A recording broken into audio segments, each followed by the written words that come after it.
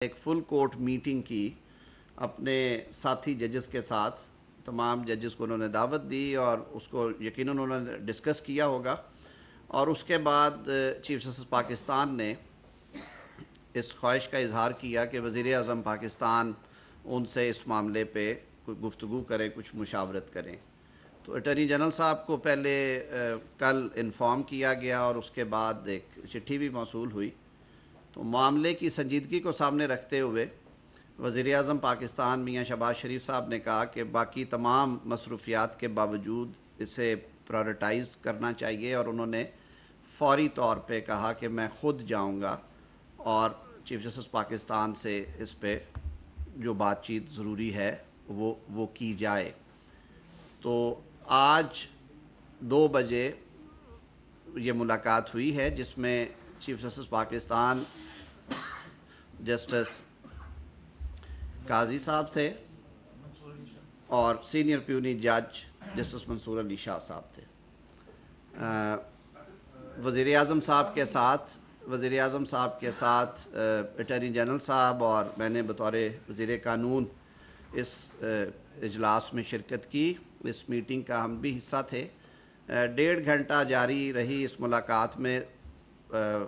लाजमी तौर पर जो आज का इशू था, उस पर मसाइल हैं जिनकी तरफ़ निशानदेही की वज़ी अजम साहब ने, जिसमें जो हमारे फ़िज़िकल मैटर्स हैं, जो टैक्स के केसेस हैं, उनमें बहुत ज़्यादा अल्तवा और तख़ीर थी। चीफ़ जस्टिस साहब ने ऑलरेडी मेहरबानी की, उन्होंने बेंचेस इस पर मुकर कर दिए और वज़ी अजम साहब ने यह भी रिक्वेस्ट की कि आप बाकी सूबों के चीफ़ जस्टिस से भी कहें कि ये क्योंकि मुल्की मीशत के लिए बहुत ज़रूरी है।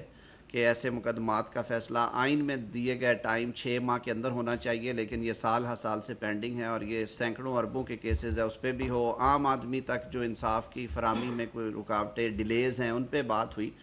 असल बात जो जो जो मामला था, इस पर इसकी संजीदगी को सामने रखते हुए मुख्तलिफ़ पहलुओं पर गुफ्तु की गई और ये बात भी हुई कि ये ये पहली दफ़ा नहीं हुआ, इस तरह की आवाज़ें पहले भी आती रही हैं, अगर आप तारीख़ में जाएँ और झांकें और इवन रिसेंट पास्ट में जो जस्टिस सदीकी साहब वाला मामला था, जो हाल ही में सुप्रीम कोर्ट ने जिसका फ़ैसला किया और उससे बहुत पहले भी वज़ी अजम साहब ने पॉइंट ब्लैंक ये कहा कि अदलिया की आज़ादी पर किसी किस्म का कोई समझौता नहीं होगा और हम क्योंकि ख़ुद रिसीविंग एंड पे रहे हैं, उन्होंने, उनकी फैमिली ने, उनकी जमात ने ख़ुद बड़ी तकलीफ़ें और सबतें बर्दाश्त की हैं। और वो ख़ुद शिकायत कुनिंदा रहे हैं कि इंडिपेंडेंट जुडिशरी जो है, वो अगर होती तो शायद मामला फ़र्क होते। तो उन्होंने इस अज़म का इजहार किया कि पाकिस्तान के अवाम ने उन्हें मैंडेट दिया है तो वो अपनी इस आइनी ज़िम्मेदारी से सुरखरू होंगे, अच्छे और अहसन तरीके से अहदा बरा होंगे। और इस हवाले से उन्होंने ये यकीन दहानी करवाई कि हकूमत का ये फ़र्ज़ है कि इस मामले की छानबीन होनी चाहिए। और आइंदा के लिए, यानी कि फ़्यूचर के लिए भी ये इंश्योर किया जाए कि अगर अगर ये बात या ये बातें किसी हद तक दुरुस्त हैं तो फ्यूचर के पॉइंट ऑफ़ व्यू से भी मुस्तबिल में ऐसी नौबत कभी ना आए। सबसे पहले इस मामले को मेरे ख़्याल में इंक्वायर करने की ज़रूरत है, यानी कि इस पर छानबीन होनी चाहिए। तो ये तय पाया कि कल काबीना का इजलास है, जिसमें काबीना का, क्योंकि फेडरल गवर्नमेंट को रिप्रेजेंट करती है काबीना और इख्तियार काबीना का है कि वो कमीशन ऑफ़ इंक्वायरीज एक्ट के तहत कमीशन अपॉइंट कर सके। तो कल ये मामला वज़ी अजम साहब काबीना के सामने रखेंगे और कोशिश होगी वज़ी अजम साहब की कि कोई नेक नाम, गैर जानबदार, कोई रिटायर्ड अदालती शख्सियत जो है, उन्हें रिक्वेस्ट की जाए कि वो इस कमीशन को हेड करें। और वो इन मामलात की इंक्वायरी करके कानून और जबते के मुताबिक इसकी रिपोर्ट जो है वो मुरतब करें। साथ ही साथ वज़ी अजम साहब ने इस अज़म का भी इजहार किया और ये यकीन दहानी भी कराई कि ममलकत पाकिस्तान एक कॉन्स्टिट्यूशनल स्कीम के तहत एक आइनी तरीक़ाकार से चल रही है और जिसमें इदारे जो हैं वो अपने अपने दायरा इख्तियार में रहकर अपने अमूर अंजाम देते हैं। वज़ी अजम ने चीफ़ जस्टिस पाकिस्तान और उनके साथी जजेस को ये यकीन दहानी कराई है कि जो इदारा जाती मुदाखलत है, वो बिल्कुल नहीं होनी चाहिए और उसके लिए जो हकूमत के जो फ़रज़ हैं, वो इन शाला उनसे अहदा बरा होंगे और उन्होंने इस तो का भी इजहार किया। इसके साथ ये कहते हुए कि जब हम ये कहते हैं कि अदलिया जो है, वो आज़ाद और जानबदार होगी तो फिर ये तो भी रखते हैं कि जो कॉन्स्टिट्यूशनल स्कीम में जिन जिन अदारों का जो जो डोमेन और किरदार और दायरा इख्तियार है वो उससे तजावज़ ना करें। वो चाहे हुकूमत है। गैर जानबदार हजूर गैर जानबदार। तो उस उस पर भी सबको अमल पैरा होना है।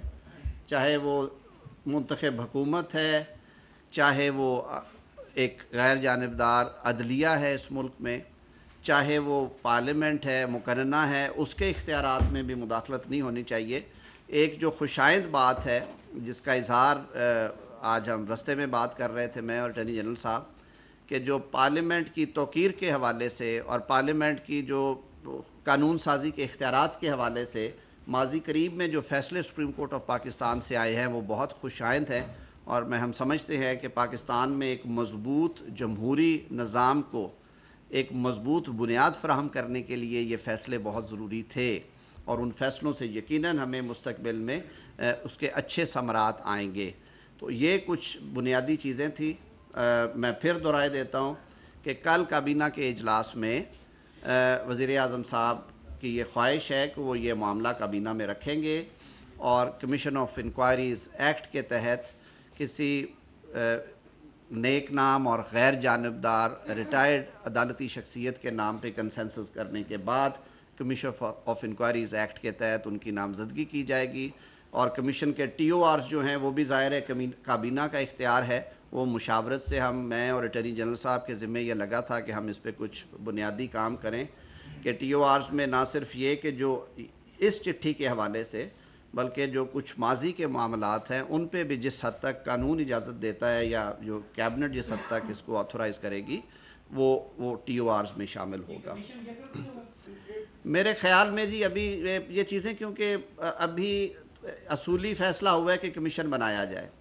और इस पर कल ओपन डिस्कशन होगी काबीना के अंदर। ज़ाहिर है उनकी इनपुट ली जाएगी जो अरकान हैं कैबिनेट के।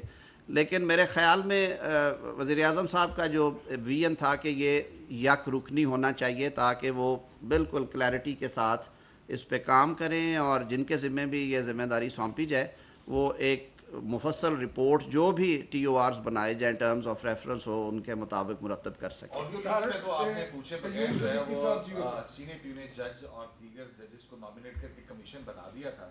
तो वो आपकी गलती थी या आपने अब कुछ अदालत का ऐसा मूड देखा कि हाँ अपना वो कुछ नहीं दे सकते इसलिए आप कमीशन पे आए? सिद्दीकी साहब क्योंकि उस वक्त बहुत ज़्यादा नाराज़गी का इजहार किया गया था हालाँकि हमने तब भी बहुत नेक नाम और गैर जानबदार जज साहब को उसका हेड बनाया था और उसके साथ हमने सूबों से भी जजेस दिए थे। तो सुप्रीम कोर्ट ने बार कैफ उसे अच्छे टेस्ट में नहीं लिया। तो इसीलिए आज हमने जो फ़ैसला किया वज़ी अजम साहब ने, ये उस गुफ्तु का भी हिस्सा था। उन्होंने कुछ अंदिया वहाँ पे भी दिया है इस मीटिंग के दौरान भी कि हम कोई जो कुछ सीनियर मोस्ट जो हमारे रिटायर्ड जजेस हैं, जिनमें पाकिस्तान के सबक चीफ़ जस्टिस साहबान भी हैं या कम अज़ कम सुप्रीम कोर्ट के रिटायर्ड जजेस, उनके नामों पे कुछ गौर वौस करने के बाद उनमें से एक या दो नाम होंगे, जिनसे फिर रिक्वेस्ट की जाएगी कि वो इस कमीशन को हेड करें। जी, बिल्कुल, उनका नाम भी जेर बहस था, बाकी नाम भी हैं जी बहुत सारे। लेकिन अभी क्योंकि, देखे, वक्त से पहले नाम लेना इसलिए मुनासिब नहीं है कि ये इख्तियार कानून जो है, वो वो पाकिस्तान की वफाकी काबीना को देता है।